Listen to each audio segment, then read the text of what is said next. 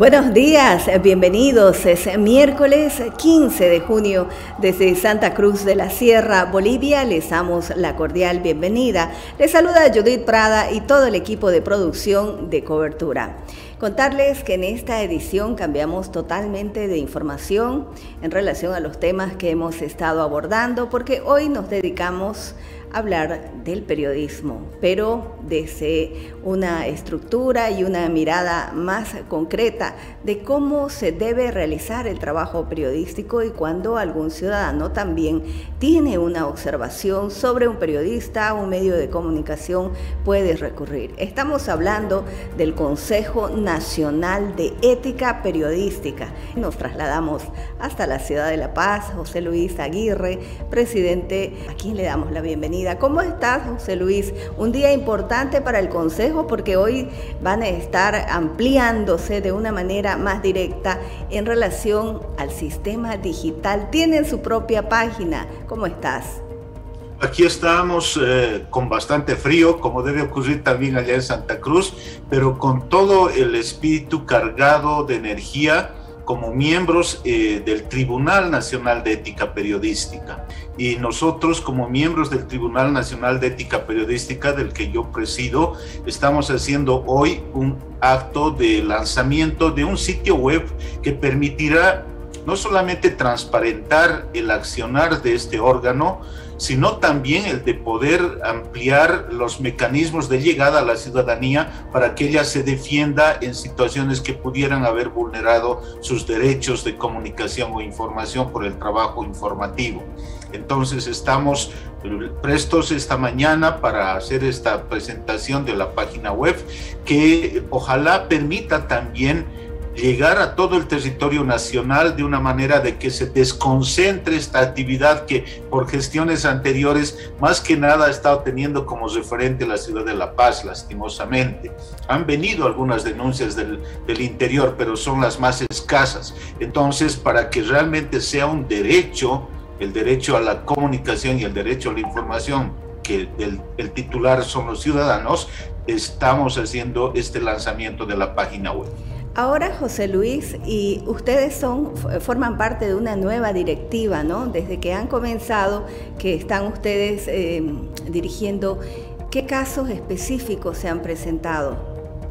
Bueno, hemos tratado ya hasta la fecha, desde septiembre del año pasado, en que nos posesionaron siete casos y lastimosamente no podemos comentar sobre ellos porque estamos dentro de los reglamentos que nos dan funcionamiento limitados a hacer comentarios a no ser que se expresamente se reduzca la resolución y en ese marco se entienda. Pero simplemente estamos trabajando eh, de manera regular, tenemos como dinámica de acción cada viernes en que se reúne este Tribunal Nacional de Ética Periodística, se da cuenta de casos nuevos, se sigue procesos que estén siendo observados o también se está haciendo alguna actividad de orden promocional de la institución.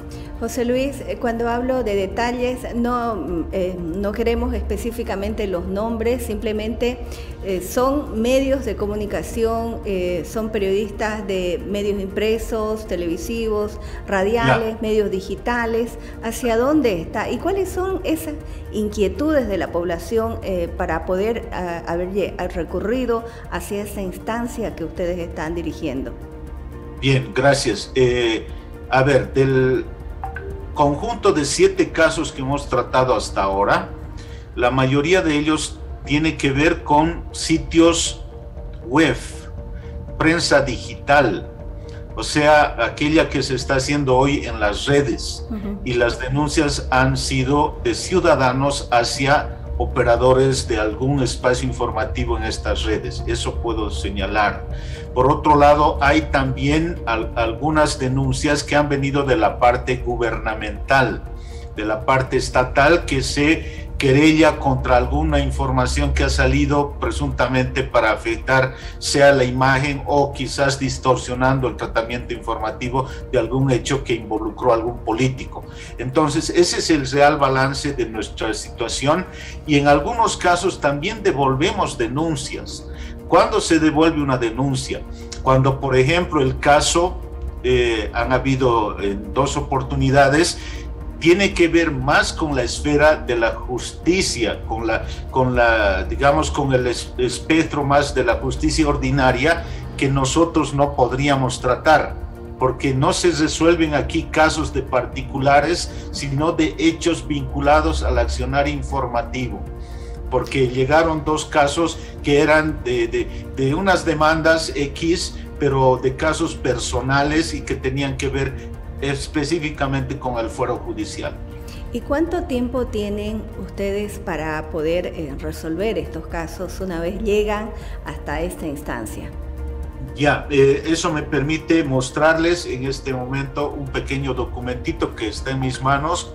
Casi se ha hecho para las citas por lo pequeño, pero es por el sentido de la portabilidad. Aquí tenemos el código y el reglamento en el que funciona este tribunal. El código es el Código Nacional de Ética Periodística, que es el que nosotros como tribunal tenemos que hacer respetar.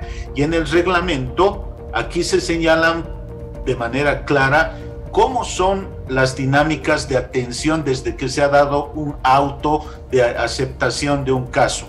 Eh, los mismos, por cierto, han sido en la gestión actual en la que estamos dirigiendo el tribunal ampliados, porque los plazos en que aparecía anteriormente el, proceso de, atención a un caso eran muy estrechos y casi no permitían el, legítimo descargo oportuno de, de, partes, ¿no? Sea de la acusadora o de la acusada, para que haya ida y venida de evidencias y nosotros entremos al análisis. Entonces se ha hecho ampliación y justamente tanto el código como el reglamento están para ser descargados en la página web que estamos presentando hoy día, para que cada quien, sobre todo los operadores, colegas nuestros de la información y comunicación, sepan que estamos normados bajo cánones bien específicos que no han sido eh, impuestos por nosotros, sino más bien hemos recibido la delegación de que observemos estos instrumentos. Ustedes prácticamente también trabajan a donores, ¿no? Son colegas que están trabajando en diferentes medios o tienen eh, diferentes actividades. Por ejemplo, el caso tuyo, eres docente muy, muy querido y muy respetado en la Universidad Católica de La Paz, más de, más de tres décadas, ¿no? Formando a las nuevas generaciones. Y ustedes hacen sus espacios para poder reunirse y poder eh, resolver estos casos, porque nada va a quedar... Eh, simplemente en una denuncia, van a llegar hasta el final, ¿no? Sí, efectivamente, y gracias por las expresiones.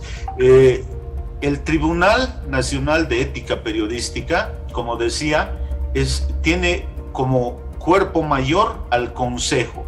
Este Consejo Nacional de Ética es un conjunto de entidades que han puesto su voluntad de regirse bajo este Código Nacional de Ética para observar el comportamiento de cualquiera de sus operadores, sea directores, sea informativistas, sea el último que exprese opinión en cualquier cosa. Entonces, este gran cuerpo es el que ha integrado el tribunal y estamos compuestos por cinco personas, por cinco personas. Eh, eh, eh, estas personas han sido electas por estas instituciones, nosotros no hemos intervenido en ningún sentido, nos han nominado y tenemos dos personas que son de sociedad civil y para que haya un equilibrio tenemos tres personas del área de la comunicación y el periodismo. En este caso, Gabriela Orozco, del periodismo, Donald Greve López ha sido director de carrera, ha sido secretario ejecutivo de Herbol, trabajador de los medios también. Y en mi caso, yo soy docente y también periodista en cuanto a mi profesión.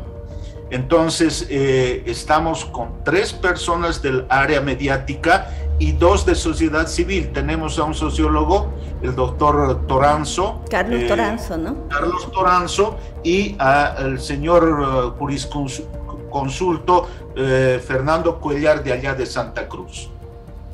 Muy y reitero, no tenemos financiamiento alguno. Este trabajo es absolutamente ad honorem, cosa que es buena. ¿Sabe por qué?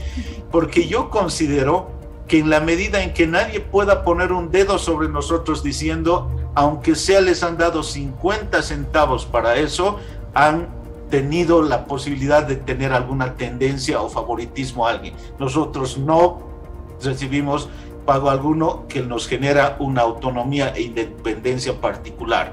Incluso para las diligencias menores, le comento, si tenemos que hacer un gasto pequeño, es de nosotros mismos y no nos, no nos pesa, porque creo que estamos recibiendo un crédito nuestro sector al que queremos representar de la manera más solvente posible y ojalá lo hagamos de la manera que ellos esperan.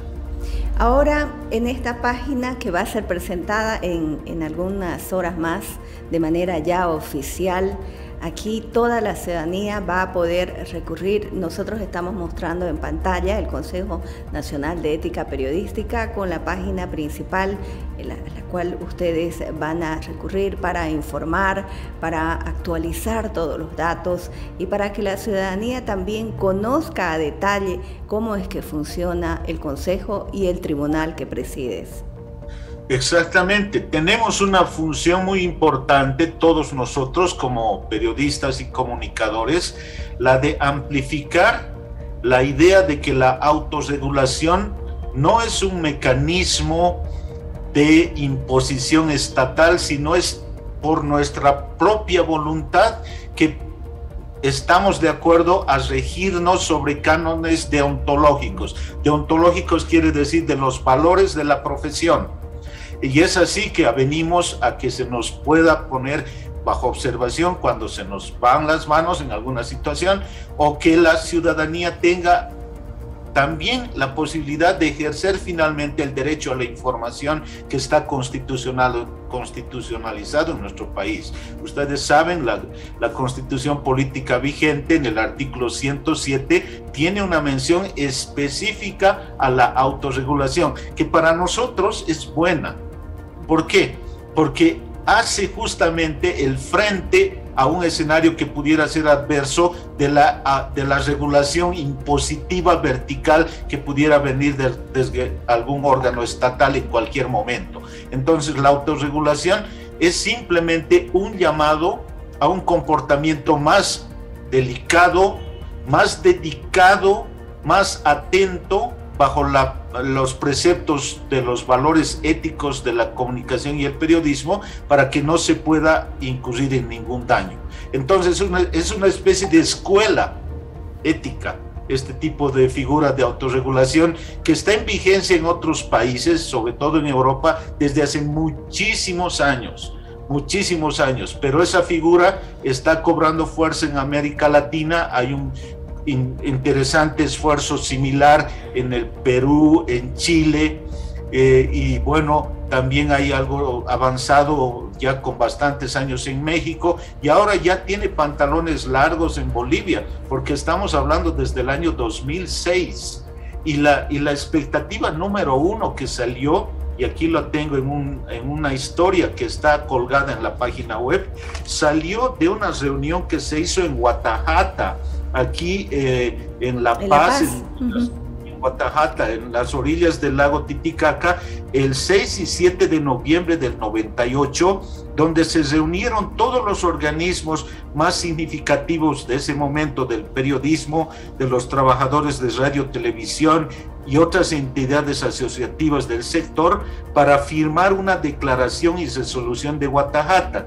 Y uno de los alcances era la protección de la ley de imprenta, como patrimonio del sector y lo otro de trabajar un mecanismo de autorregulación que finalmente con los años tomó fuerza y se constituyó gracias al trabajo de, de, un comité impulsado desde la Asociación de Periodistas de La Paz. La autorregulación y sobre todo con el músculo que le da la constitución política del Estado, ¿no? pero también gran responsabilidad para ustedes, quienes son los tribunos en este caso. Si bien no es una sentencia, em, como se podría pensar una sentencia judicial de, de prisión, porque esto es una sentencia moral y esto sí que es mucho más, mucho más delicado, porque se trata del buen nombre de la persona o de quién está siendo, en este caso, eh, responsabilizado por haber ejercido mal el ejercicio periodístico en caso que se llegue a alguna decisión final en la resolución, ¿no? Correcto. Y por cierto, una de las políticas que cumple este tribunal es la de no hacer escarnio sobre la persona que pudiera haber incurrido en una falta.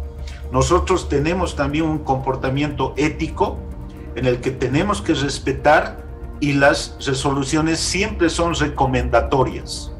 Nunca son punitivas, ni materialmente, ni, de, ni tampoco generan base jurídica para otras esferas. Y lo dice expresamente en el reglamento el artículo 28 los fallos emitidos por el Tribunal Nacional de Ética Periodística encuentran su sentido y autoridad en el respeto y protección del ejercicio ético y responsable del periodismo, razón por la que no tienen carácter vinculante y no admiten recurso ulterior alguno. O sea, es definitivo lo que sale. No hay ninguna Derecho a réplica, nada. No, no, se cierra ahí, se cierra ahí eh, dentro de los alcances de la norma que nos rige y por otro lado, algo que nos han hecho sentir en algún momento y en otras gestiones eh, es el hecho de que quisiera alguien aprovechar de esta de esta figura para vincularla a la esfera judicial, por ejemplo. Aquí dice expresamente no es vinculante porque es nuestra esfera del sector y que nos protege en un paraguas de cumplimiento de las razones profesionales éticas que hacen a nuestro oficio. La unidad en el gremio periodístico desde todos los ámbitos es fundamental y también en poder trabajar de una manera plural, ¿no? Son escenarios tan complejos que se están viviendo en varias políticas, em, en diferentes gobiernos, en diferentes lugares del mundo, donde el ejercicio periodístico se hace cada vez más eh, delicado hay un ambiente de hostilidad. En medio de todo eso están desarrollando su trabajo y hay una fuerte convicción de seguir formando esa musculatura que permita tener una salud democrática también en, diferentes países y es el caso nuestro en Bolivia porque existen muchas quejas también de los periodistas y medios de comunicación de presiones, de censuras que se viven. ¿Qué piensas sí, Exactamente. En, en, los alcances de nuestras funciones se encuentra la labor educativa también. O sea, si nosotros contáramos con mejor respaldo de algún lugar, por ejemplo, pero obviamente equidistante a intereses de cualquier orbe, eh, tendríamos que estar haciendo la la promoción de los valores éticos en cada una de nuestras regiones. Eso se hizo para la construcción del código hay que entender que el código no ha sido obtenido de, ninguna institución en particular, ha sido resultado antes de que, se constituya el órgano del Tribunal de Ética, armado por los sectores del periodismo en reuniones y consultas que elaboraron un documento base que se devolvió a la consulta regional, sobre todo en las asociaciones de periodistas, y los organismos que se han vinculado para que sea legítimo de ellos. O sea, sale esta norma de un consenso. No, no de una imposición de ningún lado. Pero lo que nos corresponde, nuevamente, reitero, es hacer la tarea de educación de estos valores que hacen a la defensa de los derechos de la información y comunicación de los ciudadanos.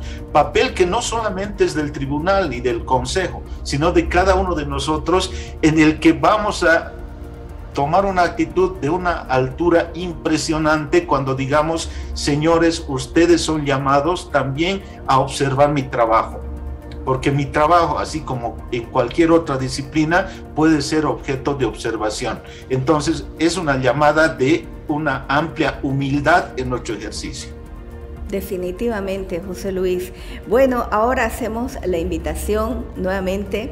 ¿A qué hora es, es el acto en sí concretamente en la ciudad de La Paz? Me imagino que ya todo está preparado para que y también a la gente de manera virtual para que ingrese a la página de todas las direcciones. Sí, efectivamente, eh, tenemos hoy en la mañana el lanzamiento de la página de la página que algunos si tiene la curiosidad ya puede simplemente poner Tribunal CNEPBO. Eh, o sea, qué pena que es eh, así medio complejo. Es Tribunal y las siglas de Consejo Nacional de Ética Periodística de Bolivia, CNEPBO.org. Ahí ya está habilitado el sitio. Vamos a hacer, eh, bueno, insistencia en que se conozca el lugar para que ya se eh, puedan interiorizar de, qué facultades y naturaleza técnica tiene este sitio. Por ejemplo, uno de los rasgos es que tiene eh, incluidos unos plugins esta página para que personas en situación de discapacidad también puedan acceder porque es un público, el 15% de nuestra población boliviana según la OPS tiene algún tipo de discapacidad. Entonces, ellos también son sujetos de derecho a la información y comunicación. Entonces, para ellos hay una pequeña pestañita con la silla de ruedas. Si alguien tiene discapacidad, puede pinchar ahí y le va a poder eh, adecuar el material a sus condiciones. Entonces, esta página ha sido armada con el trabajo voluntario solidario de dos estudiantes en proceso de titulación de la carrera de Ingeniería de Sistemas de aquí de la Universidad Católica Boliviana. Eso tenemos que encomiar porque como no teníamos ningún recurso para disponer, pedimos la ayuda de la Universidad Católica, facilitaron estos dos técnicos y ellos armaron, en función de nuestras exigencias, esta página que hoy se lanza a las diez y media de la mañana en el centro Portales, aquí en la Ecuador eh, y en la zona de Sopocachi, y está hecho específicamente para los comunicadores y periodistas que quieran interiorizarse. Excelente, José Luis, y muchísimas gracias eh, por este tiempo, por la entrevista, por la información. Eh, va toda nuestra nuestro apoyo para ustedes, para el tribunal, para la directiva y ese trabajo que tienen pendiente, ¿no? Y también nuestra gratitud para estos dos universitarios a punto ya de graduarse. ¿Quiénes son? quienes Porque diseñar una página también lleva tiempo y genera también mucho espacio para la creatividad y además han considerado también a ese grupo importante etario, ¿no? De que para que ellos también puedan acceder libremente y sin ninguna dificultad a la página. Sí, eh, ellos han hecho su mejor esfuerzo de, haber eh, hecho este aporte al periodismo y son dos, dos compañeros eh, y dirigidos sobre todo por Gabriel Cordón. del, del, otro compañero que se incorporó al final, no recuerdo en este instante su nombre, lo lamento, pero ellos son estudiantes en proceso de titulación de la Universidad Católica Boliviana. Muy bien.